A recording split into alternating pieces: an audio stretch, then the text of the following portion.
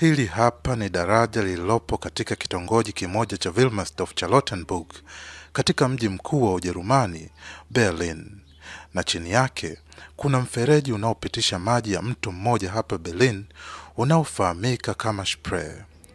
Katika mfereji huu kuna teknolojia inayotumika inayoitwa kwa lugha ya Kijerumani Schleuse, ambayo inasaidia kurahisisha usafiri wa boti kuweza kupita kwenye vina tofauti vya maji. Boti hizo mbili zinazokuja zinatoka kwenye kina kirefu cha maji na sehemu zinapoelekea kuna kina kifupi.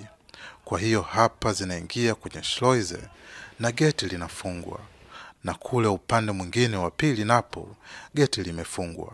Baada ya hapo, maji yanaanza kunyonywa ili kupunguza kina chake, kuileta boti iwe kina cha chini, kuiwezesha kuvuka upande wa pili. Ikishafikia kina kinacholingana na upande mwingine, geti la upande huo wa pili hufunguka na boti hizi zinaweza kuendelea na safari. Zikishapita mageti hujifunga na kina cha maji kinaongezwa tena kusubiri boti nyingine inayotoka kwenye kina kirefu ili iingie hapa kwenye Schleuse kwa ajili ya kuvukishwa kwenda upande wa pili wenye kina kifupi. Joy Wang ni mkazi wa maeneo haya ilipo hii Schleuse na anafanya kazi katika mgahawa uliopo kando kando ya teknolojia hii.